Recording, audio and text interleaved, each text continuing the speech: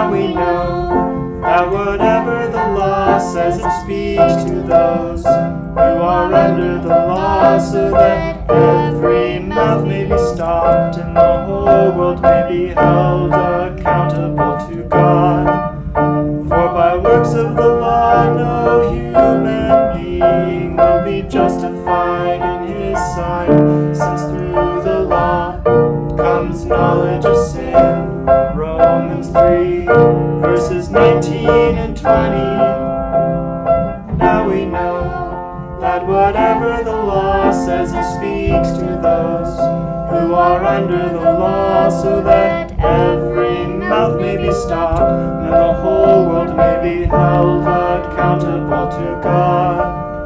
For by works of the law, no human being will be justified in his sight, since through the law